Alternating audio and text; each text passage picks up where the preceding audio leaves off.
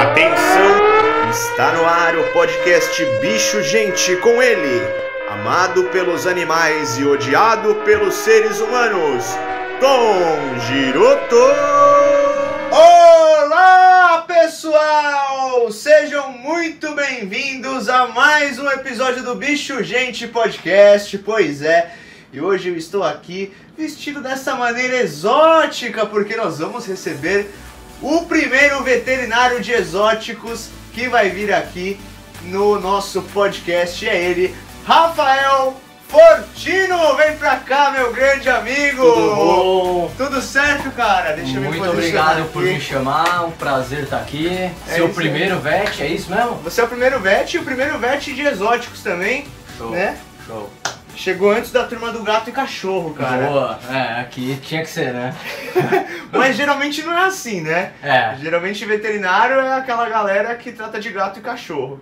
E o que, que faz um veterinário de exóticos? Conta pra gente. Atende tudo que não é cão e gato, mas você pode ter dentro de casa. E, obviamente, boi, cavalo, né? Aí também fica pra outra galera. Fica pra outra galera esses grandes. É, a veterinária é bem dividida, né? Por mais que você faça facu e você possa trabalhar em qualquer área, ela é muito ramificada. Então tem a galera de cão e gato, e hoje em dia, aliás, está crescendo mais ainda, cada vez mais as especialidades. Então tem galera que tá atendendo só gato, né? Caramba! Só cão, exato.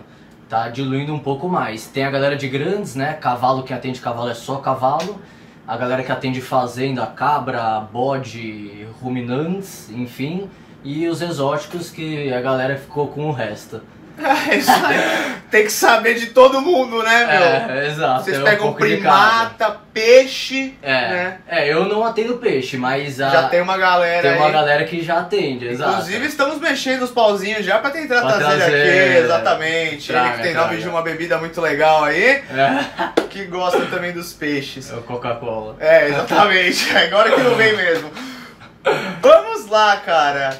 Vamos começar degustando aqui que eu fiz. Vamos. Você já tava atacando antes da gravação, eu tive que dar um tapa no rapaz aqui. Vou E- pegar o sem pimenta, hein? Ah, eu deixei a minha água. Onde é que eu deixei minha água? Deixei minha água fora do cenário, olha que legal. Tem o com pimenta e com o sem pimenta. O com pimenta é daqui de casa mesmo, viu? É o que? Manjericão? Isso, é manjericão roxo aqui da horta. Muito gostoso. Tá bom? Fiz um lanchinho legal. E ó, galera, copo do Bom Animals. Esse copo que você vende Não. é só um brinde. É, na verdade eu fiz um monte aí, dou pra distribuir aí pra algumas pessoas, um curso. Um curso, né? É, E como é que estão os cursos, Rafa? Conta pra gente. parado. Pandemia. Tudo parado, né, meu? Não tem o que fazer. Mas, né, é tanto tempo que a gente já tá parado na pandemia que tem tanta coisa pra acontecer que quando liberar, o bagulho vai ficar louco. Vai, né? Vai. Você tá se preparando, que eu tô Não, sabendo, Já né? tá tudo engatilhado. É só liberar a pandemia que, meu. 15 cursos por mês. Muitos planos. Muitos. 15 cursos Não, por mês? não, é. Ah, nem- caramba, Calma lá, tá calma mais bem preparado Não, ainda. Um monte, um monte. Muito bom. Pera aí, o microfone é cenográfico, mas não precisa destruir ele Hum. também, tá? Vou pegar um com pimenta aqui, vamos ver se tá legal. Show de bola, meu. E aí, como é Tá que você... gostoso. Tá gostoso? Tá gostoso. Bom, meu, é um bagulhinho aí light, vegetariano, inspirado pelo monarca, né, da, da semana passada. Dessa vez não vamos comer inseto. Nada, tá. Como é que você resolveu virar veterinário? Ah, eu não, não teve um ponto X assim. Desde criança eu sempre gostei muito de bicho. Tive muito contato com bicho, sempre comprei muito bicho. Mas realmente assim, eu achei, eu sabia que ia trabalhar com animais, né? Mas na época a gente tinha aquela visão que assim, veterinário era cão e gato. Não, minha cabeça não tinha aquele leque, né? Tipo de trabalhar, ah, vou fazer veterinária para trabalhar com ave. Não, não existia isso. Aí eu fui na clínica do Alê, né? Exotic Pets. Eu era moleque, tinha, sei lá, 14 anos, 15 anos. Aí na hora que eu entrei lá, que eu, mano, eu vi, meu, existe isso, então. Então, tipo, é isso. Pirou, né? Não, foi tipo. Baixei, tá ligado? É um puta roleio lá no Alê. Não, é, é mó da hora. E aí eu meio que me descobri, porque assim, eu gostava de bicho, mas não enxergava nenhuma profissão. Mas aí quando eu fui na clínica eu falei, pô, existe essa vertente, então, Essa tipo, é isso. É. Aí fui, fui indo, né? Aí entrei na facu, aí as coisas foram acontecendo. Você enchia o saco do tiozinho da loja de ave aqui, né? Eu lembro. Enchia, lógico. Pra quem sempre. não sabe, o Rafa e eu, a gente, meu, estudou no mesmo colégio, a gente cresceu no mesmo bairro. E então é isso, né? Eu, eu conheço ah, algumas histórias do bairro aqui. É, tinha uma loja de aves aqui, né? Exatamente, exatamente. Óbvio que a gente ia lá, né? Uma loja de peixe aqui. E aí, meu, eu lembro que você gostava de criar calopsita, né? Você sempre gostou de criar os bichinhos. Foi uma das minhas primeiras aves, assim, foi calopsita. Aí tive a experiência de criar solto, né, no quintal.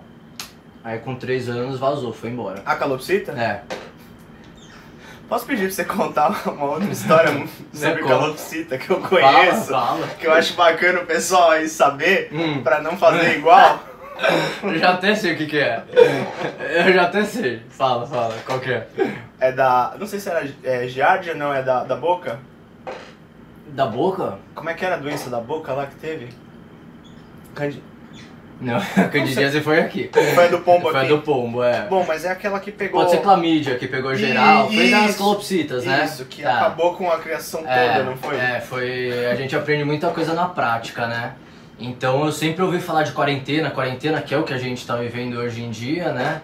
É, já passamos aí por quarentenas rígidas, agora já afrouxou um pouco, mas é super importante fazer para as aves porque elas têm muitas doenças infecciosas. E aí uma vez eu quis dar uma de criador de calopsita, né? Eu entrei com a parte de cuidar das calopsitas, é, enfim, e reproduzir e fazer a manutenção diária. E um amigo meu tinha vendido um carro, ele pegou uma parte da grana e comprou um monte de calopsita. Meu, Esses caras que gostam de É, bicho, eles fazem umas trocas, né? é. Parece aquele negócio. Ele é Você troca o carro por 15 calopsitas. Ele troca. Sim! Ele troca. Aí a gente comprou umas 16. Nossa. Aí levei tudo pra minha casa, né? A gente começou meio filhote assim, só que é risco. Aí a gente começou a amansar, beleza. É, aí nessa a gente falou, não, vamos aumentar o plantel. Então a gente pegou uma albina e trocou por duas lutinos, que são as amarelinhas. Uma das lutinos veio doente. Contaminou todo mundo, das 16 sobrou uma. Meu Deus. Né, em questão de duas semanas. Então foi, foi louco o bagulho. É tragicômico, né? É, Porque, tipo, hoje é. você ri disso, mas aposto que Não, eu hora... aprendi muito com isso, mas foi meio desesperador, porque assim, era por dia duas, três, né? De chegar na Ah, não foi tudo de uma vez? Não, é, foi em quatro dias. Pode crer. Tipo, eu cheguei a levar a calopsita na clínica, né? Só que assim, não teve um diagnóstico rápido. É, Na verdade, nem teve diagnóstico, porque ela morreu rápido, né? Não dava nem E aí, tempo. não, é, enfim, foi, mano, numa paulada só. Tipo, o bagulho, se olhava pra gaiola, tinha três mortas, assim. Foi, foi zo- zoado, mas aprendi, né? Hoje em dia, quarentena total. E conto essa história pra todo mundo que eu vou atender em domicílio. Meu, eu já conto, se você trouxer alguma ave nova, faz quarentena, porque aí eu conto essa história, aí a pessoa faz, né? Pois é. Alguém aprende com os erros dos outros. Vocês veem que não é à toa. Exatamente. Bom, e aí? Depois que você decidiu que você ia ser veterinário, na faculdade, Ah, eu simplesmente entrei e não. Não, tem uma fiquei- matéria- fi- tem é, tipo tinha, uma, né? É. de exóticos. É. Como é que você faz quando você entra numa faculdade que o seu interesse é uma das 60 e poucas matérias, né? Então, hoje em dia, tendo a experiência que eu tenho e atendendo, né? é, obviamente depois que a gente passa é muito fácil falar, né? Mas assim, todas as matérias são muito úteis, né? Porque, pô, você tem anatomia, você vai aprender ossos do corpo inteiro. Vai mudar a nave? Vai, mas são detalhes, entendeu? Tipo, eles não têm tibifíbula, é tibiotarso, mas, meu, é um detalhe que muda, né? Então, vale a pena estudar todas as matérias, mesmo sendo só uma mais específica. Porque, assim, o primeiro do curso é geral, então você aprende muita coisa é, de biologia, não de biologia igual na faculdade de biologia, mas assim, tipo de célula, é, histopatologia, enfim, é um geralzão. E aí depois que afunila, aí realmente assim, clínica de pequenos animais, não frequentei muito, né? Porque não era o meu interesse. Mas hoje em dia eu Mas vejo. calma, quais são os pequenos animais? Que aí na minha cabeça. Cão e gato, eu cão já e gato. pensando em hamster. Não, não, não, cão e gato, cão e gato. Eu não frequentei muita aula de cão e gato. Pode crer. Mas hoje em dia eu vejo que assim, várias doenças, várias não, mas algumas poucas doenças em coelho pode ter uma certa Hum. relação ali que talvez ficasse um pouco mais fácil de diagnosticar no começo se eu tivesse assistido a aula, entendeu? Então acho que vale a pena. No...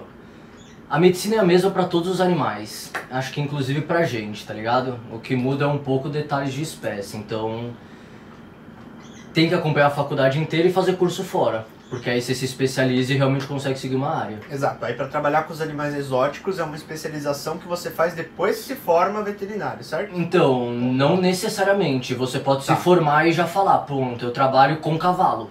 Beleza. Eu trabalho em laboratório, beleza. Agora, se você vai conseguir trabalhar ou não é outra coisa, né? Hum, entendi. Mas você não precisa de uma especialização. Mas, obviamente, você quer ser bom, você quer. né? Facilita totalmente, né? Te Porra. direciona. Não, Total. entendi. Total. É, pois é. Porque o pessoal fala, né, que a galera da veterinária mesmo, lembro em Pirassununga que chamaram a gente pra dar aquele curso, eles falam que eles sentem muita falta, né, da, da parte de selvagens, silvestres. Com certeza. É um pouco escasso dentro da faculdade. É, eu tive só dois semestres, né? De matéria realmente focada em clínica de pets não convencionais. E realmente é pouca coisa. Mas aí você tem a opção de ir no GES, que é o grupo de estudos. Uhum. Né? Aí você assiste um monte de palestra, cursos extras pagos, né? Fora. Enfim, é, tem que sair da faculdade realmente pra você poder se formar já conseguindo trabalhar. Porque senão não, não dá não. Cão e gato dá. Mas silvestres não dá não. O legal é que todo mundo que vem aqui fala a mesma coisa. Nesse sentido de você tem que ir atrás por sua conta. Sim, Pra total. você trabalhar com aquilo que você quer. Não basta simplesmente você fazer a faculdade e aguardar que ela vai te colocar no trabalho dos seus sonhos, né? De jeito nenhum. Que ela vai fazer milagre. Tem um guardanapo aqui, mano, se precisar. Não, tá de boa. Tá de boa na Obrigado. calça, já tá tranquilo, né? E é bem isso, né? Tem que ir buscando por fora pra. É, a faculdade ela te mostra os leques e as opções. É você que vai atrás do, do objetivo, né? Porque não tem como realmente passar tudo. Falar que a faculdade foi fraca é mentira, mas não tem como. E aí depois da facul você fez uma especialização? Aí eu fiz pós, né? Era pra ter durado dois anos, mas durou quase três por causa da pandemia. Teve a pausa. Terminei faz, sei lá, um mês. Essa pós de pets não convencionais que é de clínica, né? Aí agora vou começar um curso de cirurgia, mas aí não é pós, é mais uma, um técnico de especialização. Bacana, então só é operar os bichos, meter na Ah, faca. eu já opero, né? Só que eu opero hoje em dia coisas que eu estou confortável de operar. Tipo, por exemplo. Uma picanha no churrasco, assim. Não, castrar, por exemplo, um coelho, castrar uma coelha fêmea, isso eu faço. Hum, Mas, por exemplo, ah, precisa tirar um corpo estranho do intestino. Aí é é mais mais complexo, específico. exato. Aí esse Tá. curso vai me ajudar a dar esse passo. Faz bastante sentido, né? Bacana. E aí, então, depois dessas especializações, você vai aí buscando, tipo, a especialidade... Você vai meio que adicionando, né, habilidades no seu currículo. Exatamente, mano. Da hora. Exatamente. Só deixa eu fazer um parênteses. Claro. Isso é muito verdade, porque na veterinária, quanto mais você sabe, mesmo que seja de tudo, melhor você fica para poder trabalhar no que você trabalha, né? Então, por exemplo, eu terminei a pós em silvestres, vou fazer essa cirurgia, beleza. Mas, por exemplo, eu tô acompanhando um laboratório uma vez por semana para conhecer a parte clínica. Então, assim, eu tô indo duas vezes por semana. Eu acho que daqui a um ano vai ser como se fosse uma pós em patologia clínica. Então, assim, adiciona um pouquinho de laboratório, um pouco de cirurgia, um pouco da clínica mesmo, aí você fica mais completo, né? Ter só uma das partes, eu acho que é muito cru. Sim, e você comentou, né, que você já tinha muitas partes e essa parte laboratorial você tava meio que evitando porque É. você menos gostava. Mas É. aí chegou a hora, né, de... Chegou a hora. Pois é. Já aprendi um monte de coisa e eu vi que esse lado tava muito basal ainda. Aí chegou a hora de aprender um pouco mais. É isso aí. Boa sorte. Obrigado. E daqui a pouco nós iremos coletar o sangue do galo Ronaldo aqui no podcast e depois ele vai ser levado para um exame, né, um hemograma, é isso mesmo? É, eu vou levar o material para análise. É, fazer o hemograma, se eu também conseguir que o laboratório libere para fazer o exame, aí rodar bioquímico para ver fígado, rim, enfim, dá pra ver um monte de coisa. Bacana, então não percam nos próximos capítulos aqui. Já aproveita e inscreva-se no canal e deixa a sua curtida aí para acompanhar os próximos episódios, os próximos convidados do Bicho Gente Podcast aqui no canal do Bicho Paulistano. E hoje em dia você trabalha fazendo o quê? Hoje em dia eu trabalho com atendimento em domicílio, né? Por toda São Paulo, Alphaville, São Caetano, Osasco, enfim. Grande São Paulo, grande É, CP. até uma hora e meia de distância assim eu, eu tô indo, né? É, para essas cidades aqui mais próximas.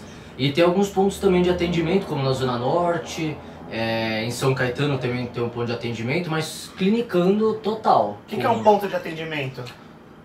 Por exemplo, em São Caetano tem um laboratório que quando eu preciso marcar consulta, eu marco lá, caso a Ah, pessoa entendi. queira no laboratório, Sim. senão atende em domicílio, entendeu? Entendi. Na Zona Norte é a mesma coisa, por exemplo, ah, se o animal tá com dificuldade respiratória, precisa de um raio-x, ao invés de eu ir em domicílio, eu já marco no laboratório que aí já faz os exames. Facilita. Com certeza, pros dois lados, né? Pros dois lados, é, exato. Exatamente. Bacana.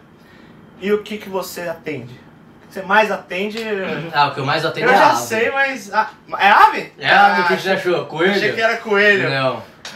Não. Coelho acho que é na clínica que mais chega, né? É, a maioria das clínicas de silvestres atendem muito coelho, assim, é mais de 50%. Eu acho que eu atendo, assim, uns 70% de ave, uns 20% de répteis e os outros 10% aí vai coelho, porquinho da Índia, chinchila, hamster. Caramba, o seu, Meu o forte é seu ave. meio, né, que você co- construiu, o seu Meu nicho. comercial focou mais nas aves e nos répteis, que é o que você mais gosta, Que é o que eu né? mais gosto, exato. Pode crer, então É, você deu uma eu tenho coelho hoje em dia, mas nunca tive. Só os adotados também, né? Aquele coelho paraplégico? É, a paçoca, que eu adotei em Alphaville, ela caiu da varanda e o Caraca. cara queria eutanasiar ela. Aí eu adotei. Aí tô com ela até hoje, uns dois, três anos já. E ela é agressiva. Vou trocar a comida dela, ela me ataca. Caramba, Ah, beleza. bem agradecida essa coelha, né? Foda. Que legal. E aí? E O que aí? mais você quer saber? Ah, eu quero saber qual que você mais gosta de atender desses aí. Putz, hoje em dia, o que mais me atrai seriam répteis diferentes, né? Porque, por exemplo... Naja de Brasília, Não, né? eu nem vou. Se o cara vier pra mim e falar que tem uma naja pra eu atender, eu, mano, não Você sai fora, você não vai? Não, não vou. Ó, pra você atender um animal peçonhento, você precisa ter equipamento, né, pra poder atender e de preferência também não estar sozinho. Segundo, segundo, segundo não, terceiro, quarto e quinto. Que, não, que não tem soro, né, então assim... Não se era eu- nem pra tá lá. Exato, se eu vou atender uma naja e eventualmente ela consegue me dar o bote, meu, aquele abraço, porque o único soro que tinha no Brasil foi usado no menino. Ele gastou a chance. Ele gastou no Brasil inteiro, podia uma pessoa ser picada e avisar os outros, né, sem morrer antes, e foi ele. Agora não vou, imagina, o bicho me pega, eu morro, aí o que que valeu? Nada. Uma bela Grande consulta, bosta, né? né? Vai sair no jornal só. A glória é eterna. É. E- mas o que, que são répteis diferentes que você diz assim? Ah, que vai, A galera tem. o- que, que você já viu assim? É, de o que eu atendi assim de legal, o monstro de Gila, que é. Também é venenoso. É, não, é, ele é, ele é peçonhento, mas ele não tem mobilidade, né? Uma naja é rápida. O, esse monstro de Gila, ele é um lagarto, ele inocula peçonha se ele conseguir te morder e ele é super travado e absurdamente manso também. Obviamente não é pra ficar manipulando, né, de qualquer forma, mas fazendo a contenção certa, absurdamente difícil dele conseguir te atacar. Mas esse foi um dos muito loucos, que eu não achei que eu fosse atender um dia, e aí do nada o cara, ah, eu tenho um Surprise! Gila, eu falei, eu vou. E é de graça, ainda bem que eu não falei. O que é de Não, graça? tô zoando. Eu falei, eu ia de graça. Ah, você ia? Não, lógico que não, né? Atendimento. Mas que eu fiquei felizão, eu fiquei. Eu fiquei mesmo. E esse mesmo cara tinha uma Morelia viridis. Que é uma... É uma uma- verde arborícola que parece a cobra papagaio, né? Que a gente uma tem aqui no piton, Brasil. Né? É, Meio... é, exato. Sócio boy, assim. É, piton mesmo sócio boia. É, é, sabe a Caninos coralos? Coralos caninos. Coralos caninos, Sim. é, isso. É bem parecido. Pode crer. batese. Sim. Exato. Tem é várias muito, cores, É, né? a, mulher, a Morelia viridis tem amarelo, azul, verde. Pode crer, acho que eu é muito louco. veio aqui. né? Essa era verde. E o cara é um maior caloteiro, hein? É mesmo? É mesmo. Denúncia que põe É, na tela, velho. Ele me Vamos pagou. botar tudo aqui. É, ele me pagou, mas Aliás- demorou. Demorou. O senhor gosta de receber um calote, hein? Não, esse foi um dos únicos que eu me lembre, tá? Só quem fala, comprou câmera na internet e não recebeu até hoje. câmera não, celular, não foi? Aí, ó. Isso aí. Exato. Eu recebi calote mesmo, só foi esse. Graças a Deus. Tô, quase tá saindo um outro aí, mas vamos ver. Porra. Vamos esperar pelos próximos Não, capítulos. não, eu tava, tava brincando, não foi de atendimento, mas enfim. Era outra história. Ah! Ah, lembrou? Lembrou? Lembrei, Lembrou. é. É, acontece. É. Calotezinho ali, um aqui. Vai juntando, né? Vai juntando. Uma hora dá o celular que eu Já- perdi. dá- já Milão. deve ter dado bem Milão. mais. Porra, bicho. Da pessoa que dá o calote, né? Não em mim. E qual foi o. Bom, você falou que o que mais te surpreendeu foi o monstro de Gila. Foi. O Mongigila e a Morelia foram os animais mais diferentes. Foi o assim. combo, que era tudo no Não, foi só? um dia e depois no outro dia. Ah, tá. É, mas era no mesmo local. Tá bom. Agora vamos às histórias. Né? Qual foi a, a melhor história Ah, de merda. atendimento, assim? Melhor história de atendimento? Não, mas você tem que. Especificar. É, puxa um pouco. Hum, a que você mais ficou com o cu na mão, assim. Que deu uma merda. Que deu uma merda. É. Não, eu já fiquei com. Eu já fiquei com o cu na mão de atender em local que eu não vi no GPS antes onde era. E eu tava, mano, do nada numa estrada de terra, tipo, num local bem. Era eu falei, pronto, é. te chamou, tá Não, ligado? sei lá, alguém me chamou pra um sítio e vão me sequestrar. Mas não, era a casa da pessoa mesmo. Era um local, tipo, você saia da cidade, andava num negócio de estrada de terra assim, aí do nada você saía num condomínio. Tipo, aí beleza, tinha umas casas lá, mas era meio de noite, eu fiquei meio. Meio pan. meio travado, é. Eu falei, vixe, é hoje. Nunca aconteceu, sei lá, o proprietário ficar puto com você. Cara, isso é muito interessante, né? Porque na veterinária muitas pessoas reclamam disso e muitas pessoas reclamam de tutores.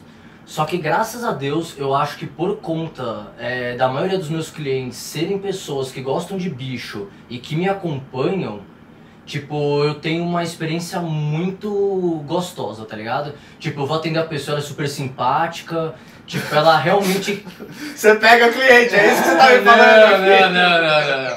De jeito nenhum, isso aí não dá. Não, não tem como misturar, que Eu dá tô merda. brincando, tá? Não, é lógico. Mas, não, é, eu sempre sou muito bem recebido, então, tipo, e também acho que o importante do veterinário é você se dedicar ao bicho, sabe? Eu acho que quando dá problema é muito, por exemplo, em hospital que tem muitos veterinários, aí acontece alguma coisa com o cachorro e a pessoa acaba descontando até em qualquer um. É. E A gente nem. vê, né, meu? é. Até a gente saindo na Com porrada. certeza. É, teve um vídeo que eu recebi aí de um. Eu sigo umas páginas de denúncia Mano, veterinária. Não, o cara atirou no. É, eu acho que era o veterinário, ele tá. Olha a brisa, né? O veterinário tava atendendo, o cara foi lá reclamar, daí o cara pegou, acho que foi pra cima do veterinário e tentou dar dois socos. Aí o veterinário sacou a arma e, mano, matou o cara. Bizarro, né? Veterinário do Texas, né? Burnout o bagulho. O cara tá, mano, ali é da loucura. É, pelo menos ele não se matou, né? É. Matou o. É, Pelo- burnout é, normalmente é reverso. Reverse burnout. Bom, o cara tava ali na pilha, né? É. Meu, sei lá, é uma legítima defesa, você pode contestar ou não, né? Porque não foi mão contra mão, mas. vai É, mas não, né, eu acho meu? que Você tava bem errado ali. Tá todo mundo errado Ele ali. enfiou uns cinco tiros no cara. né? não, não foi pra parar, tá Não ligado? esquece, É, não, o cara O cara já ele, tava ele meio- tava pancada tava puto e já. aí ele descarregou tudo ali na hora. Puta que É, pariu. doideira, né? Não, mas graças a Deus nu- nunca Você é aconteceu nada parecido comigo, não tem nem porte de arma. Por isso que ele só tem experiências gostosas com os clientes, que ele vai fala 38, já, ele já chega assim, né? Chega lá, ó. Ó o meu CRMV aqui, ó. É o nome do, do calibre ali. É, mas é, é, isso é interessante, porque, meu, eu conheço muita gente que reclama realmente de proprietário e eu, meu, tenho uma relação muito tranquila. Tipo, é bem de boa. Eu já ouvi falar que tem até, não sei se matérias, mas partes de matérias que ensinam a comunicação com o tutor. Então, deveria ter, né? Não Mas sei não, se tem, na facul. Se- São cursos à parte, É, eu já sabe? vi Mas- palestra disso. Ah, então é alguma coisa É, assim. mas na grade curricular, tipo, não tem nenhuma matéria específica disso. E deveria ter. Porque é uma das principais partes, né?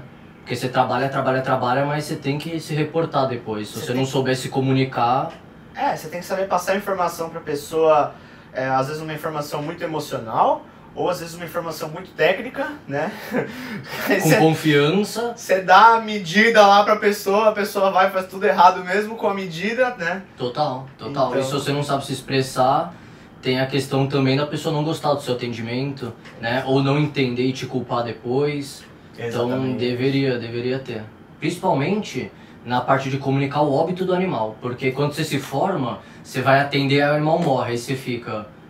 E agora? Como que eu falo pra pessoa que o animal faleceu, né? E O negócio aprende dia- na marra, mas. É, e cada dia mais o animal é um membro da família. Total, todo mundo sofre, todo mundo sente. Não, e pra você, passar uma notícia dessas, às vezes, né? É pesado. É pesado. É pesado. Às vezes tá a família toda, tá tipo, meu, já vi lá na, no Alê, tá Apreensiva, tipo é, o pai, a mãe e a criança, tá ligado? Os três, mano. Sim. É tenso. Essa é a parte ruim da veterinária, viu? É, se tem uma parte ruim na veterinária é essa. Morte dos bichos. É morte dos bichos, é, total. Eu nunca gostei, por isso que eu nunca É, consegui. é, porque é muito legal trabalhar com bicho, meu, você fica felizão e tal, mas quando você perde o paciente é uma pancadinha que, que vem. Tanto de perder o bicho, eu vi a Lê falando esses dias, né? Tanto no fato quando você perde o bicho e quando você tem que dar a notícia pro tutor. São tipo dois momentos ruins, tá ligado? Um é a frustração de você ver que não deu certo, e o outro você precisa contar e, tipo, confortar o tutor. É a parte complicada. Se tem coração fraco, não trabalhe com clínica, mas pode fazer veterinário. É Verdade, até porque o veterinário não trabalha só com clínica, né? Exatamente. É... E qual foi o caso mais zoado, assim, que você já atendeu?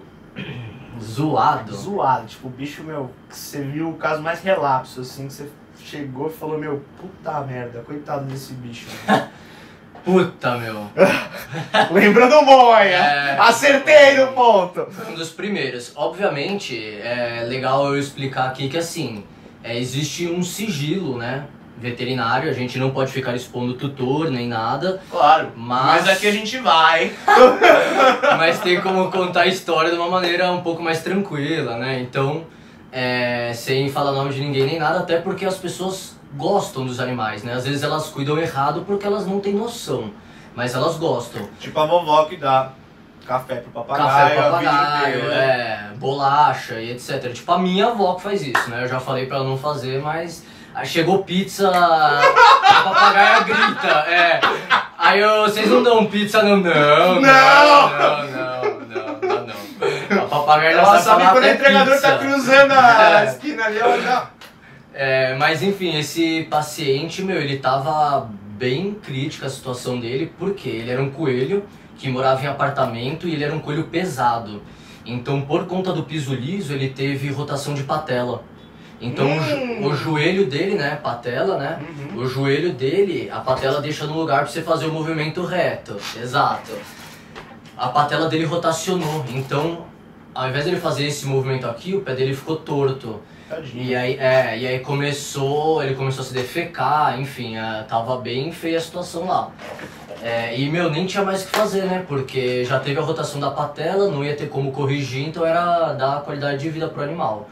Paliativo. É, tirar dor, fazer o manejo onde ele conseguisse não ficar se defecando e tentar seguir a vida. Eu namoro uma oncologista, eu tô ligado o que, nossa, que é, esse, é, esses processos. É seguir a vida, É uma é. merda. É seguir a vida. Mas esse acho que foi um dos mais. Mas obviamente, assim, os campeões de que você vê, meu, esse bicho tá cagado, vou generalizar, é jabuti. Meu, Cagado não, Não, igual não, o é, coelho porque que já- tava se é, defecando. mas- Cagado de tipo mal cuidado. né? É, é, de, na verdade, assim, ou ele não tem acesso à nutrição boa, ou não tem acesso Ao tanto sol. ao sol, ou à água. Então é um animal que ele tem deformidade de casco. E você vê, assim, o casco totalmente torto. Pela primeira vez o sol, ele ele tá atrapalhando, mas ele foi útil, ó, que ele tá bem no seu peito. É, ele tá aqui, ó. Eclipse Fortina. E aí eu acho legal que a galera vê o jabuti, meu, com umas pirâmides. Piramidismo assim, total. E fala, ah, não, ele tá assim porque ele tá forte, né? Ah, é. meu, É, Não. não, o pior é que a galera acha que é normal. O pessoal que eu atendo, pelo menos, nem justifica. Mas aí quando eu falo, tipo, que o casco era pra ser liso, a pessoa, a pessoa se impressiona, né? Porque é muito diferente do que tá. Muito, muito. Tipo, é absurdo.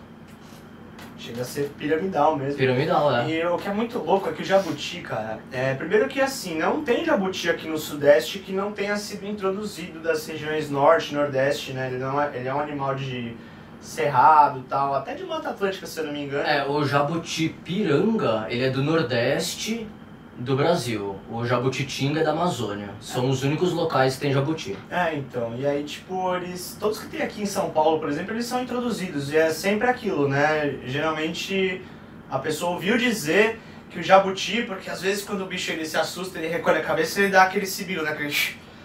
E aí as pessoas falam que o, jabuti cura Pneumonia. bronquite, pneumonia, várias doenças respiratórias, pra colocar o jabuti debaixo da cama da pessoa doente.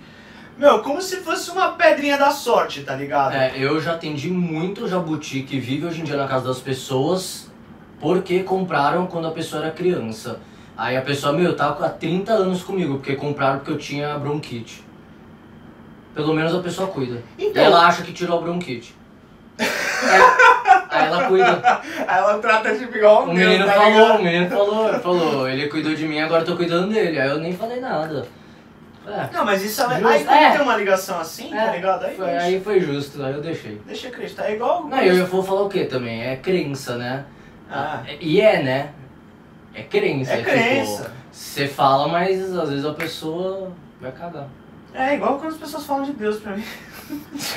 eu não consigo, tá ligado? Babê. Não. E tipo... Mas eu acredito em Deus, hein, galera? É, ele sim. Biólogo não. Biólogo Biólogo. geralmente não, não acredita. É, eu acredito num misto. Meio campo. Misto quente. É, é um misto de, de Deus, energia e ciência. Mas assim, pra vida, pra, pros fatos, não tem que ficar mistificando. Essa é a minha opinião. Pois é, né? E jabuti não cura doença Não respiratória. Bom, eu já te perguntei. Ah, Só. Você quer fechar a janela? por conta do sol? É. Ah, a gente tava falando de quelônios com casco fudido, né? Meu, uma coisa que eu fico impressionado é com quelônio com casco machucado, quebrado, furado. Como cicatriza. Como a cicatrização deles é foda. É. E lenta. Lenta, mas eficiente, tá É. ligado? Total. Total. Tipo, de- tendo o tratamento no tempo adequado. É... Eles são um tanque de Vai. guerra. Eles Essa é a são, velho, eles são. Os filhotes nem tanto, mas os adultos, meu, eles aguentam, aguentam chumbo. É, Os, filho- os, os filhotinhos, né? Tartaruga marinha, o filhotinho até caranguejo pega. É. Mas ela vai evoluindo, vai virando Blastoise, tá ligado? Fica gigante. Fica, meu, sensacional. É, a... Uma coisa legal de falar é que, meu, o pessoal normalmente fala, ah, é, eu vou criar o filhote de jabuti sem terrário, Solto? solto. Porque tem uma vizinha minha que tem um jabuti de sei lá quantos anos que criou assim. Só que o que que acontece, né? Dos mil jabutis há 30 anos atrás que vieram do tráfico, dois ficaram vivos no quintal, né? Os outros morrem. Só que vieram, tipo, sei lá, um milhão de jabutis de tráfico. Então tem uma população que conseguiu sobreviver resistir e se adaptou a São Paulo, né? Réptil é absurdamente adaptável, né? Então eles conseguiram fazer essa transição na própria geração, né? É... Então isso não é um parâmetro, porque os jabutis que a gente tem adulto hoje em dia em quintal são os que sobreviveram, né? A essas condições. Porque na real eles são do Nordeste ou Amazônia, que é uma temperatura totalmente diferente de São Paulo. Então se você vai ter um jabuti filhote hoje em dia, indico que você tenha no terrário, senão você vai precisar comprar mil para poder ficar com um. Fora que é aquilo, né? Tem questão de aves de rapina, Total. gambá, Total. é, anima- gato, gato aqui, tem gato pra caramba solto aqui que os vizinhos deixam. é, você sabe que eu adoro. Uma treta. É. E aquele bagulho do jabuti acabar ficando virado de ponta cabeça e morrer queimado pelo sol, eu já vi também. Ele filhotinho. É, total. Ele morre, é, exatamente, ele morre porque ele hiperaquece, né? Ele chega numa temperatura que ele morre, não é nem porque ele vira. A galera acha que normalmente virou, morreu. Não, é que ele tá lá virado e Ele não, consegue, sair. Exatamente. Aí ele tá lá, é, o sol chega nele, meu, Já era. chega num- numa temperatura de cozimento ali Sim. ideal pra carne de jabuti, E quanto menor o animal, mais rápido aquece. mas é menos Então volume, filhote, né? exatamente. Então filhote, meu, é um dois no sol. Por isso que filhote de jabuti é sempre no, no terrário, né? E sempre do criadouro. Sempre do criador, óbvio. e tem uns né? vídeos muito legais lá no canal dele, desde o, da montagem do terrário, uns desde o filhote, já, desde é. buscando. Os bichos já estão grandes, né? Já estão no quintal. Tão no quintal, é. Em quanto tempo eles foram pro quintal? Na verdade, o quintal, esse recinto externo, teoricamente era só para verão e épocas mais quentes, né? Só que como eu ainda não recebi o terrário grandão, elas ainda estão lá. Mas teoricamente eu já deveria ter tirado. Mas elas estão com dois anos, mais ou menos isso daqui, ó. Que é o tamanho certo de um jabuti de dois anos. E lá tem bastante sombra também, né? Não tem risco de superaquecer. Não, não, lá eu coloquei tocas, né? Mas bate bastante sol, tipo, boa parte do dia. Tem as Mas plantas também. tem as plantas Legal. e tem as tocas. É um belo recinto. Um belo recinto, é. Mini Jurassic Park. É, É, muito legal, cara. Muito louco, né? Eu acho que eu, Eu fiquei feliz de fazer esse recinto. Eu falei, caralho, finalmente. é muito legal, meu. Puta, é, recinto de tartaruga, eu piro com o meu aqui. Eu acho que a gente só não pira mais que o Sérgio Rangel, com tar- jabuti dele lá, com aquela Pode jabuti, crer, meu. Milenário, Nossa, bicho. ele até quebrou o pé, velho. Pode crer. Se alguém não sabe dessa história, uma vez o Sérgio Rangel tava andando na casa dele, ele chutou a tartaruga dele de 30 quilos lá, o jabuti, mano. Quebrou o pé? Quebrou o pé, velho. Caraca. É, tá distraído, hein? O que, que será que ele tava fazendo? O bicho, mano, um metro de comprimento, mano, sei lá, 70 Ele devia estar com a cabeça nas 90. nuvens! Devia estar meio distraído. Ai, caralho. A gente foi longe só com os jabutis, hein? E, bom, eu te perguntei qual foi o mais zoado, se algum deu merda. E. É, o que dá merda é o que morre, né? Mas É. aí tem alguns. Qual que foi a, a mais desafiadora? Cara, Deu, certo, assim. não, o mais interessante. Eu vou acender é, meu charuto aqui, com licença, tá Fica bom? vontade, Tá, fica à vontade. O cara tá paquitão Hoje aqui, aqui, né? É, só patrão. Cadê o uísque?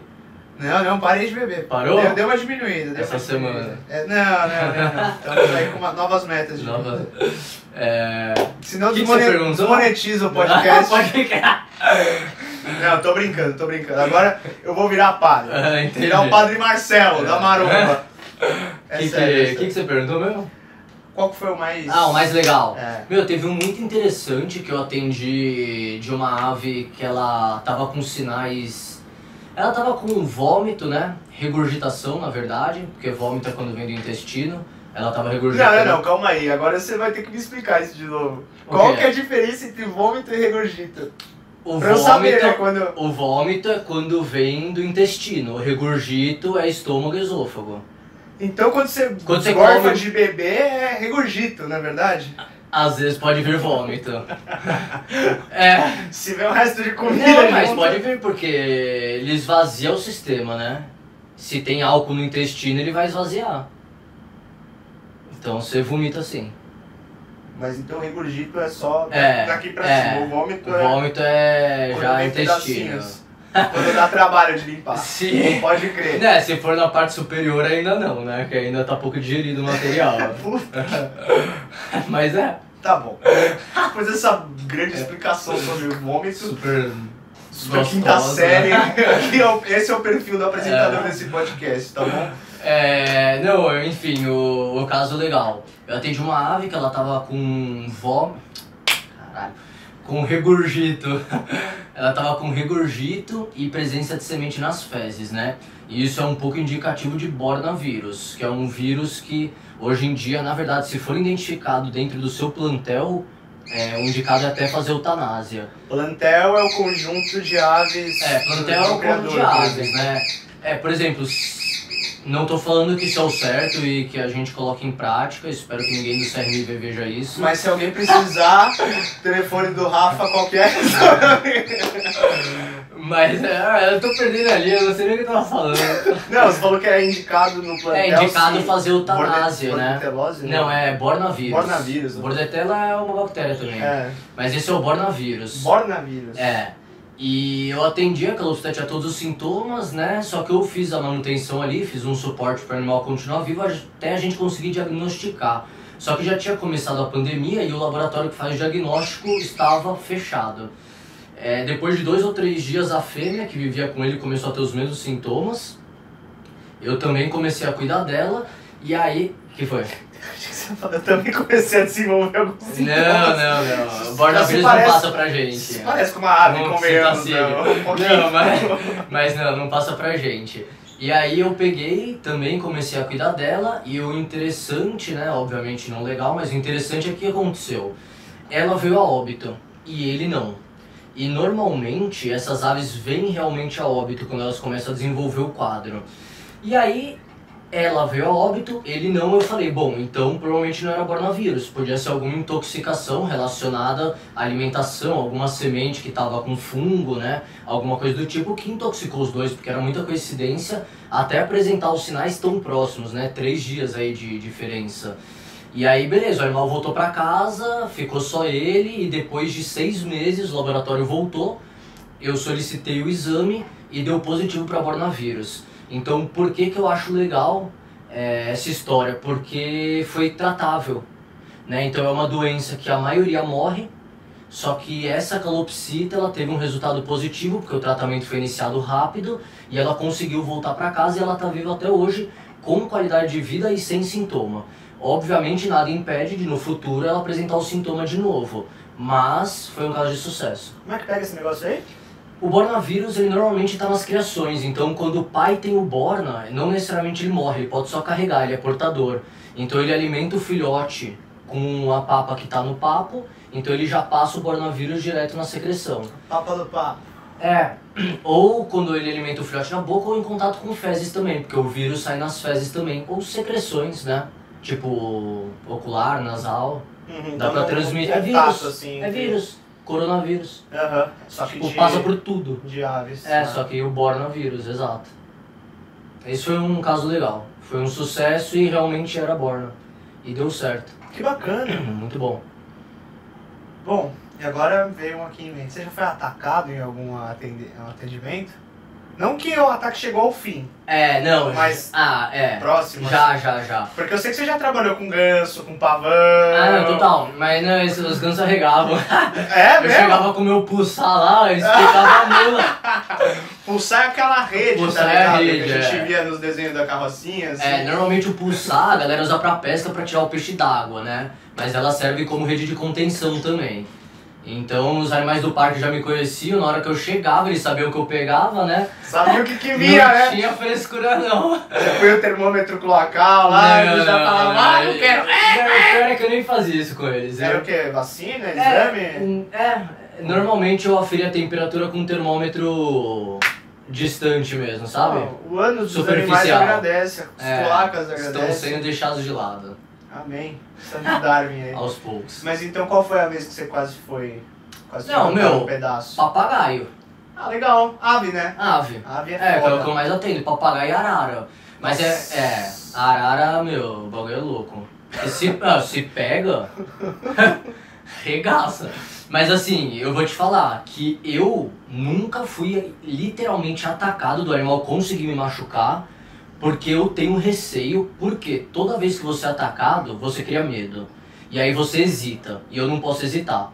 Então eu tento me proteger pra não tomar bicada. Eu tomo bicada de quê? De calopsita. Porque aí eu falo, ah, calopsita, vou pegar de qualquer jeito. Aí eu de pego. rir, né? O bicho... É, é, mas o cantinói arregaça. Mas eu também não deixo mais hoje em dia. Mas antes eu ia mais tranquilo e tomei. Mas assim, papagaio já teve uns que conseguiram pegar, mas como eu tava com um pano, eles não entenderam que era meu dedo. Então ele pegou e largou. Ele não, não sorte. bicou. Que sorte. Então você não tem nenhuma cicatriz causada Ah, por eu nenhum tenho animal. cicatriz, mas de iguana, assim, de pegar na mão, tá ligado? Ah! Ah, tem de coelho! Tem um Você coelho. tem uma cicatriz de coelho, Tem. meu! Mostra Será que dá pra ver? aí. Acho que vai ter que pôr a luz aqui. Pera aí. Pera aí, deixa eu pôr a luz. Boa. tava fazendo estágio. Vou meter o pau, hein? Eu tava fazendo estágio na pior clínica veterinária de Silvestre. Não, calma, De calma. São Paulo. Calma, não, cara. você não vai. Você não vai aproveitar isso não, eu só vou dar essa deixa aqui. Eu sem mais perguntas. Aí, ó. Caralho, deixa eu. É, enfim, depois você consegue aí colocar uma foto? Não, velho. Não? um saco editar isso aqui. Enfim, eu tenho uma cicatriz aqui Deve ter dado pra ver. de mordida de coelho. Quem quiser ver, vai no Instagram dele, arroba BoomAnimals, e fala, Rafa, me mostra sua cicatriz de coelho. Isso. Isso aí. Pode mandar isso que eu vou saber o que, que é realmente. É, de fato. É, E aí eu tava lá, eu era estagiário na época, né, nessa clínica zoada, escrota. E aí eu tava limpando lá o recinto dos coelhos. e aí o coelho veio correndo, só que até então eu não tinha contato com o coelho, né? E aí eu peguei e falei, ué, será que ele tá vindo cheirar minha mão? Que bonitinho. Vou deixar. Nossa, eu deixei, ele cravou, ele cravou o dente aqui, eu levantei a mão, o coelho rodopiou duas vezes no ar porque ele não largou, né? Porque na hora você puxa. Aí ele, meu, caiu no chão, aí eu olhei assim, nem sangrou, ficou só marcado, mas fez a cicatriz, velho. Não sangrou? Não sangrou. Mas ficou aquele branco da pele. É, é tipo porque aquela aqui é uma. Finca, né? É, aqui é uma área que tem muita pele, né? Então acho que não. Se fosse aqui, certeza que ia ter sangrado. Mas aqui acho que, ó. Meu homem Russ. É, meu, não, não sangrou, mas a rega doeu. Ficou zoado. Eu acho isso muito errado. A gente cria uma ideia de que o coelho é um bicho fofinho, Nossa. que ele é legal pra criança, que ele é legal pra escola. Meu, é um dos bichos que eu já vi sendo mais agressivos Total. que eu já vi, assim. Total, Tanto total. com pessoas quanto com outros animais. Total. E- mesmo entre eles. Só que os que não são castrados. Uhum. Quando você castra, diminui muito a agressividade, tanto em macho quanto em fêmea. E também macho é muito pior. É. Macho é treta até o fim. Eles atacam o testículo do outro macho pra poder esterilizar. Minha primeira castração foi de um testículo lacerado, de um macho de coelho. Foi aquele que veio daqui? Foi, não, do colégio, Flor da Vida. Então, essa história é a seguinte. Veio do colégio Flor da Vida um coelho e um franguinho no mesmo dia. Os dois bem jovens. Pode crer. Aí virou o Galo Ronaldo Ah. e o Coelho Flor. E eles viviam em plena harmonia porque eles chegaram desde o mesmo dia, né? Eu não sabia disso, não sabia que coelho macho. Não sabia nem se ele era macho ou fêmea. Tanto é que chamava Flor, eu achava que era fêmea. Enfim. É, opção sexual do coelho à parte, é, ele era macho. E aí um belo dia o Galo Ronaldo apareceu, meu, com um rasgo daqui até aqui. Inclusive outro dia eu tava mexendo, achei o raio-x dele aqui. Pode crer. E o pessoal lá no Ale achou que ele tinha sido atacado por um cachorro. De tão feio. Mas o coelho ele vai com as. Ele tem as unhas grandes, né? Então ele nem vai muito pra morder. Ele morde quando tá perto da cabeça, porque a cabeça do coelho é travada, ele não consegue mexer muito. quê, meu irmão? A cabeça do coelho. A cabeça do coelho é travada. E aí ele não consegue jogar pra cima. Então eles não mordem Ah, ele não tanto. tem muito pescoço. né? Exato. Faz assim pra comer feno, né? Exatamente. Quando eles vão atacar mais alto, eles catam e dão umas patadas. Com certeza ele catou e ó, plau no galo. E a pele do galo é fina, né? Regaçou, certeza. O Wolverine. Aí Galo Ronaldo teve que ser operado. E o Coelho Flor foi o único bicho na minha vida. Ele, pra não falar que foi o único, ele e um peixe. Uma vez que eu tive que fazer a besteira de ter dois Oscars juntos. É. é, vivendo e aprendendo. Foram os dois únicos bichos da minha vida que eu tive que devolver. Aí, Coelho Flor voltou pro Colégio Flor da Vida, onde tinham muitos coelhos. Inclusive onde a gente já tinha avisado pra não deixar todo mundo junto, porque ia rolar uma procriação em massa. E a- rolou. a lá Nova Zelândia. E alguém Rolou. se deu bem, né? Castrou todo mundo. Agora, né? É. Mas, meu, na época, dois, dois não, quatro anos atrás, é, eu lembro que o Tom tinha me falado que ele avisou, né, pra não juntar macho com fêmea. E quando eu fui atender, tinham 18 coelhos filhotes saindo da toca. Só que eles saem da toca com 30 dias. Depois que a fêmea pare, na mesma hora ou 24 horas no máximo depois, ela já consegue copular e ficar prenha de novo. Então, quando esses 18 filhotinhos apareceram, já tinha mais 12 filhotinhos dentro da toca. Acho que era 12 ou 14 dentro da toca. Aí separou macho de fêmea, cada um foi para um canto. Aí depois, agora rolaram as castrações. Então, mas aí antes disso, né, o Flor ficou junto lá com outro coelho. E aí o destino reservou a vingança, né? Foi o Pantufa, né? Foi o Pantufa, Que era um coelho de meu- 4,5 kg gigante. Não era, Não não, era. faz jus a esse aqui não, velho. Era um Pantufa de, do pé do Marcão. Ele era gigante, ele É atacou gigante. bem o testículo desse coelho aí. Regaçou. E aí, esse foi o primeiro coelho que você castrou. Foi a minha primeira cirurgia. Caraca. Eu falei, ah, é castração, Ah, mas já- é fácil. Aí eu cheguei lá, o bagulho O arregaçado. coelho, o coelho já tinha feito 85% É, do trabalho, tá Essa ligado? foi a dificuldade, porque não tinha muita pele. Aí eu falei, meu, onde que eu me enfiei? Num saco dilacerado. É.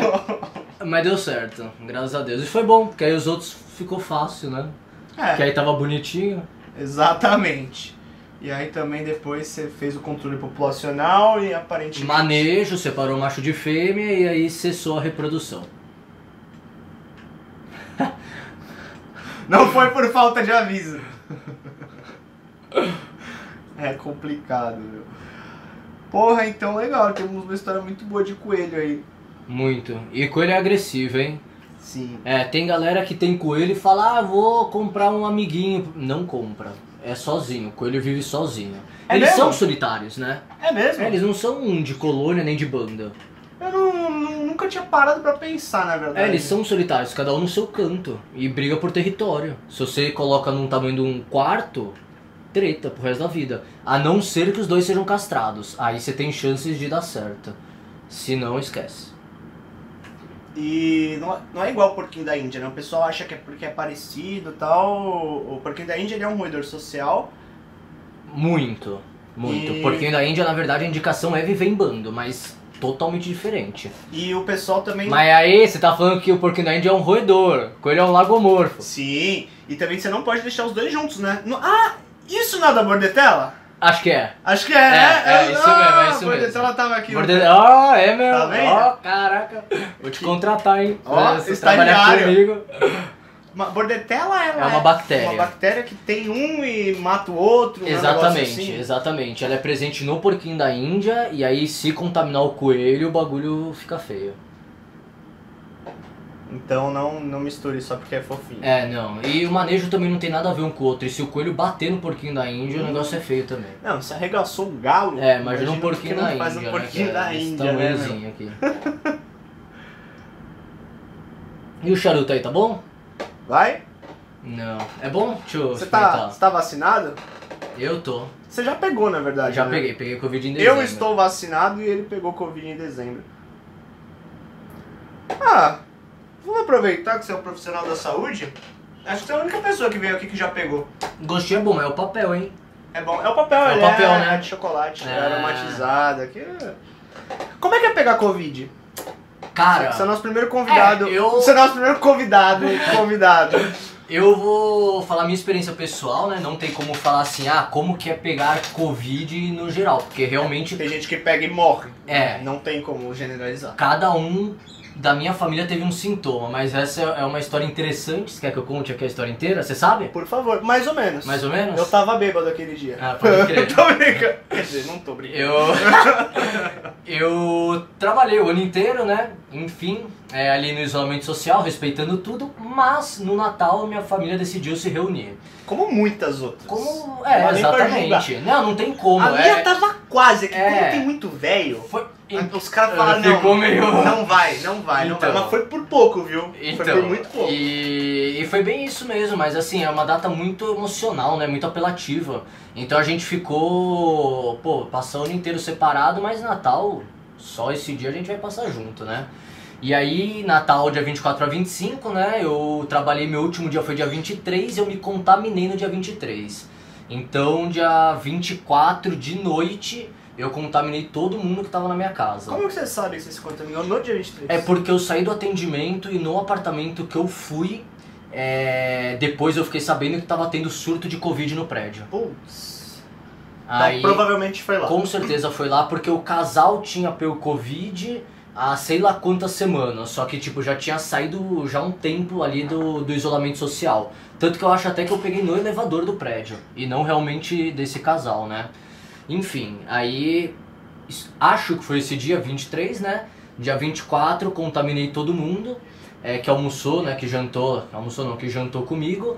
E aí, dia 25, a gente se reuniu de novo no almoço. É, só que assim, tinha mais gente no dia 25. E por incrível que pareça, as pessoas do dia 25, que não foram no dia 24, não pegaram. Por quê? A gente fez isolamento social No dia 25. no dia 25. Dia 24 não. Não, a gente se abraçou.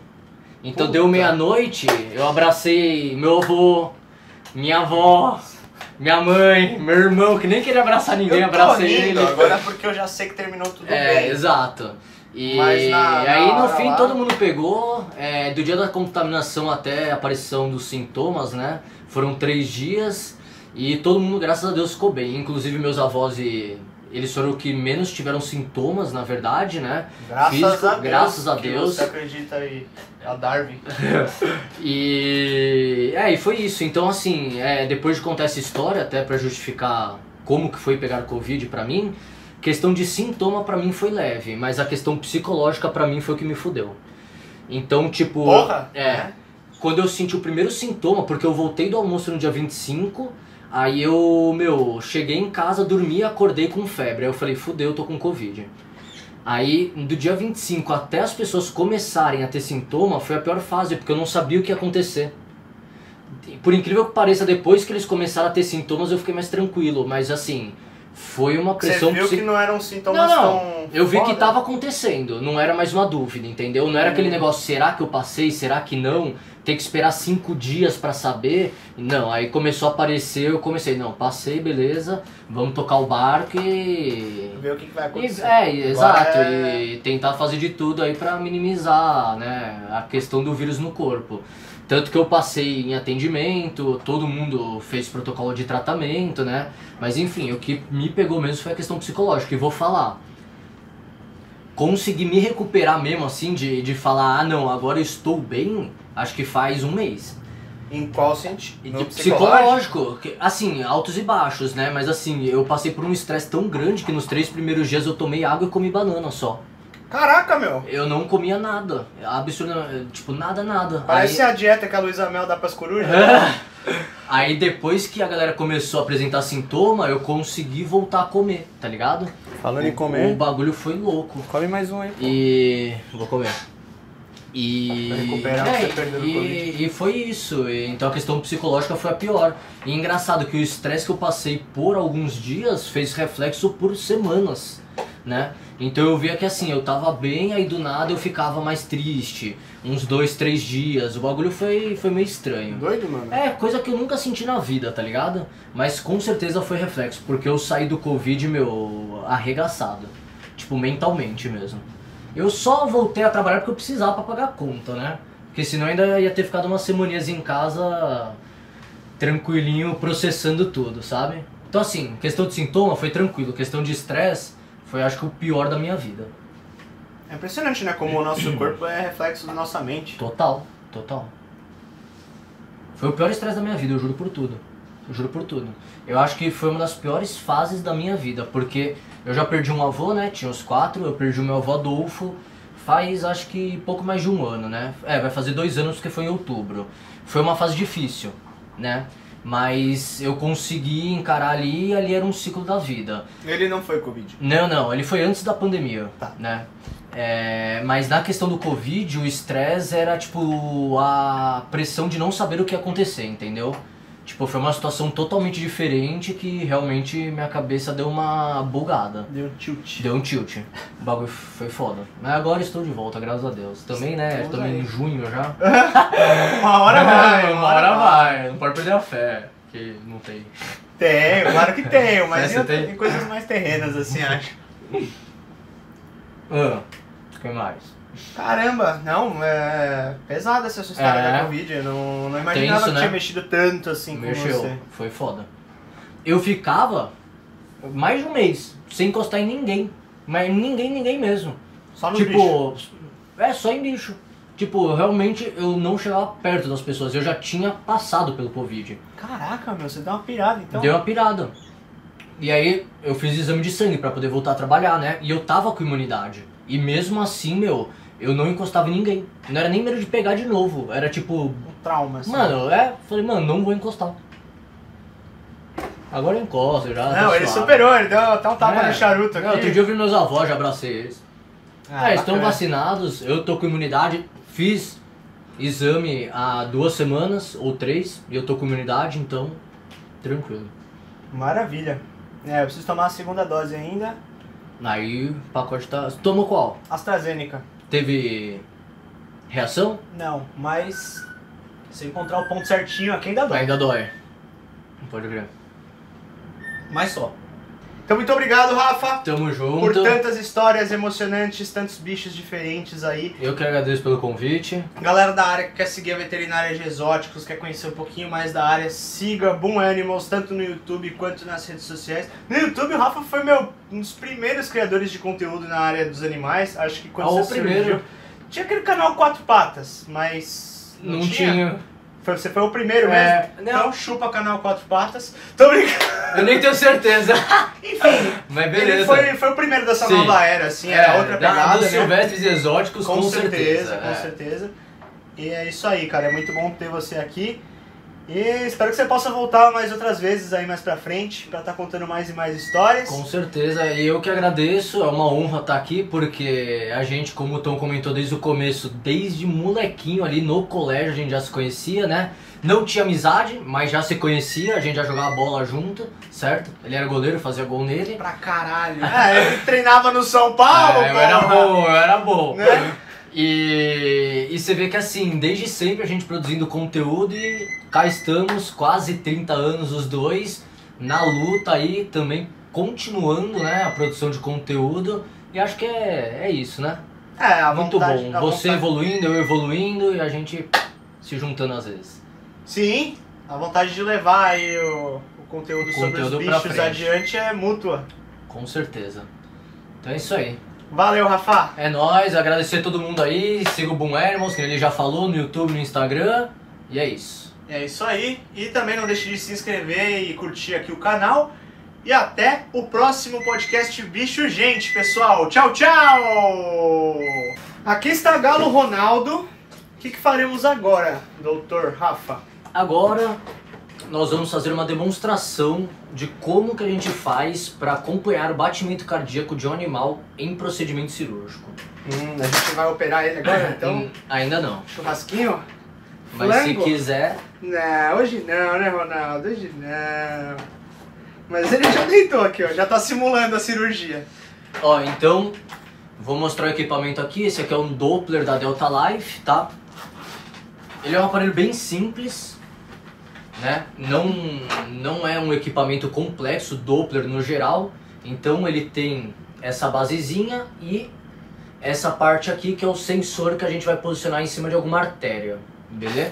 Maravilha. Qual que é a intenção disso daqui? É a gente conseguir é, ouvir quantas vezes o coração do animal tá batendo. E até a força daria, né? A gente não consegue medir a força, mas a gente consegue perceber que assim, ah, no começo da cirurgia tava fazendo barulho alto e agora o barulho diminuiu um pouco. Então quer dizer que é, a contração cardíaca pode estar diminuindo. Aí você diminui um pouco a questão da anestesia, beleza? Mas isso aí fica com o anestesista, né? Eu tô fazendo procedimento cirúrgico, não vou me importar com isso. Mas vamos lá. Isso daí, então, basicamente é como se fosse um estetoscópio versão animal? É, não, é um estetoscópio, é que te- estetoscópio é geral, né? Tipo, o normal serve pra bicho também. Tá. Só que o estetoscópio você vai auscultar pulmão e também a frequência cardíaca, dá pra você auscultar o coração. Esse daqui você só vai ver a frequência.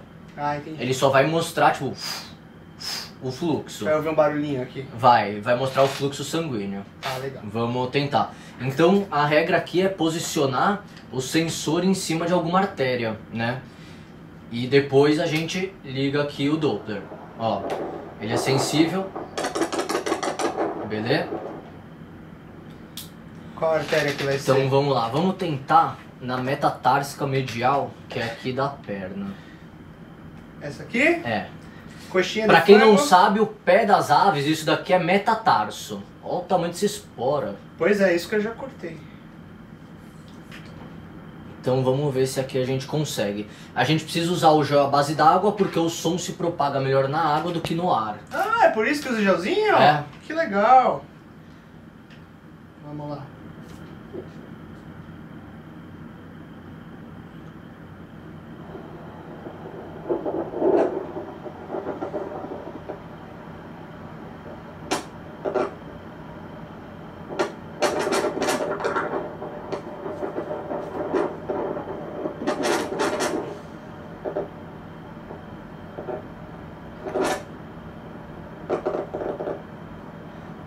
Nada!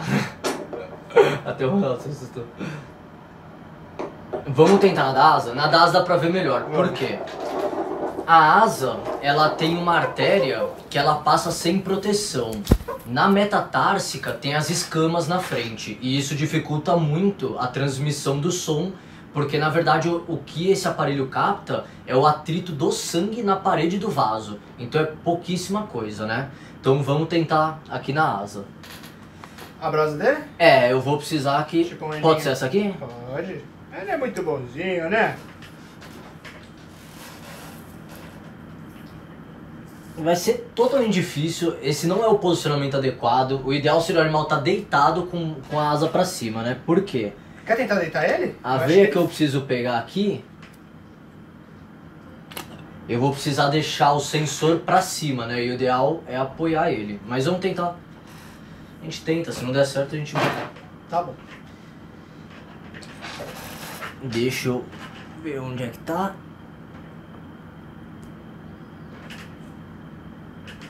Beleza.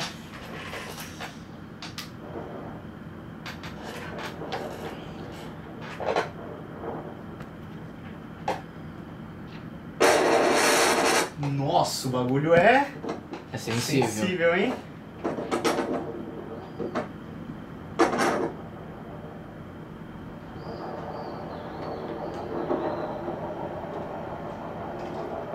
É. É.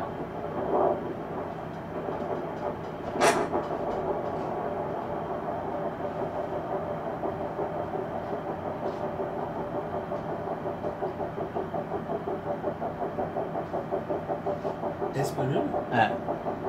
Então essa é a frequência cardíaca do Galo Ronaldo. No momento, né? Aproxima mais um pouquinho do nosso gravador pra gente ter certeza que pegou. Trem, né? Beleza? E aí a gente tem um aplicativo, né? Vou mostrar aqui.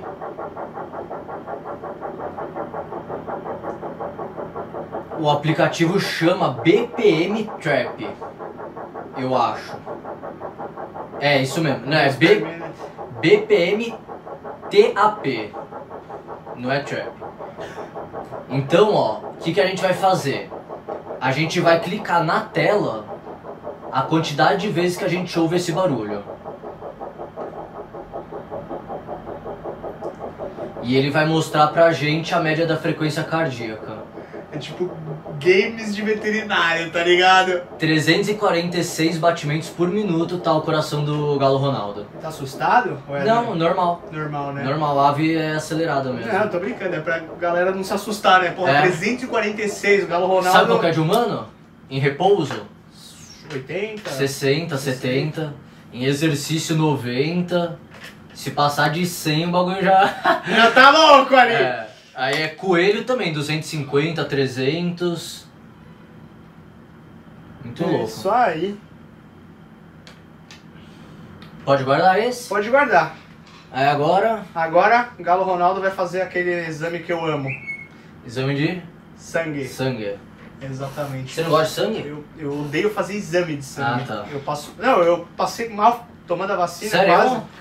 Meu, a agulha en- enfiando alguma coisa ou tirando alguma coisa de mim. Já mexeu no corpo, já. Não, é porque, né? É meio paradoxal, né, Rafa? Tipo, Né? Pode crer. mas é porque. Não, mas é diferente. É é, diferente, É diferente. é diferente. Essa daí tá na derme só, é, É, superficial. A é. outra. Tá passa inoculando tudo, alguma é. coisa ou então, meu, tá tirando lá. E tá tirando é a pior. Eu quase desmaio. Ó, eu acho que dá até pra colher no seu colo de tão bonzinho que ele é, hein? Vamos tentar? Vamos? Eu posso não olhar? Pode. Então tá bom. Ei, Ronaldo! Ô, Ronaldo!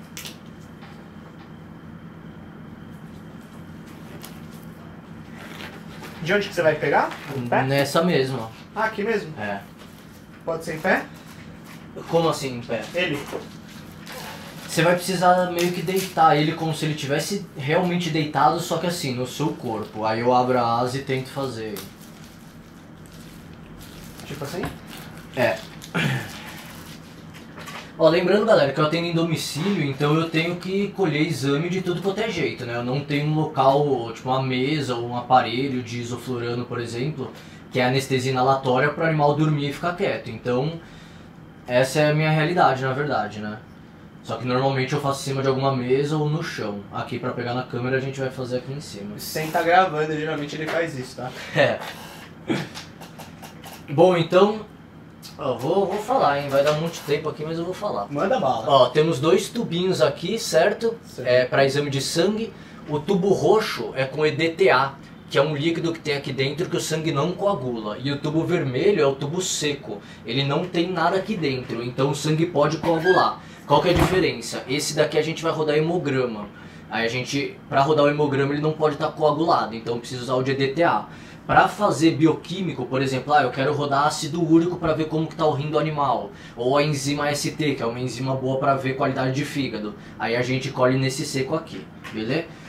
Vou colher nos dois, beleza? Que aí a gente manda pro laboratório, Fique à vontade. roda, faz um estudo.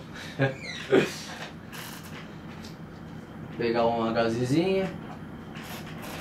Tá bom assim? Estaria, mas com a asa dele pra mim. Pode puxar um pouquinho. Aí.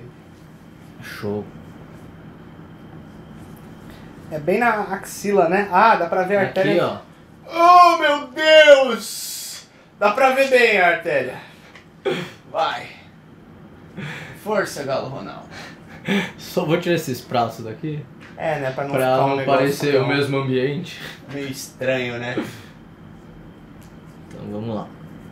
Vamos lá. Essa mão aqui, você pode abaixar um pouco, tá? Tá.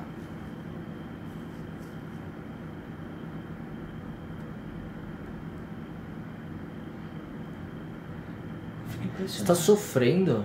Eu estou, eu fico impressionado como os bichos não ligam pra tomar vacina, É, é, vezes. tirar sangue.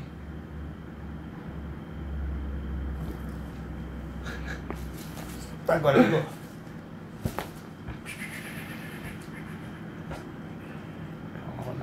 Consegue dar uma segurada nessa mão nele no corpo? Consigo.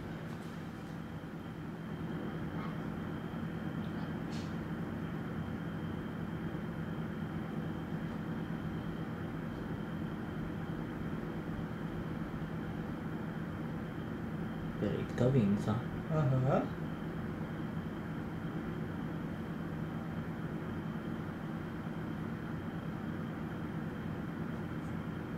Tá bem devagarzinho, mas tá vindo.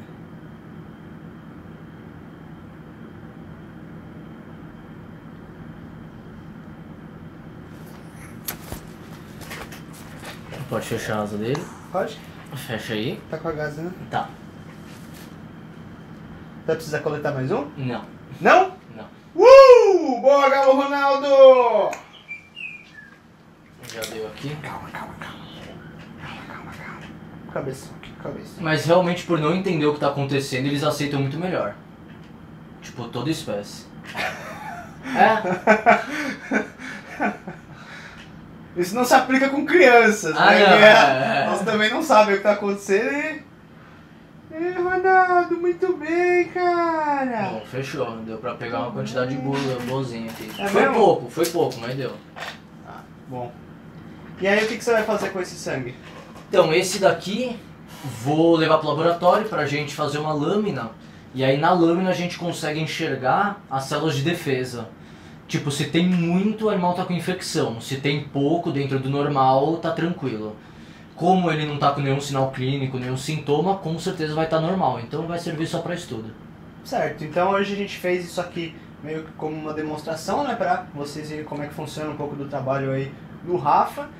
E também, né? Vai virar ciência. vai virar ciência. É, e de certa forma também é sempre bom estar fazendo um check-up aí nos bichinhos. Já vai servir pra alguma coisa. Já vai servir. Exatamente. Fechou? Fechou. Agora o Ronaldo desmaiou, igual eu quando eu tirei exame de sangue. ó. Você lembra quando eu... Nossa, ficou boa a barbela dele. Lembro, lembro, lembro. Ó. Show. Bom, é isso. Exame colhido e é nóis. É nóis. Quer tentar tirar mais um pouco de sangue? Não. Pra- Não? Não mesmo? Deixa eu ver como é que ficou a asa. Você sofreu, mano? Sofri por ele, tadinho.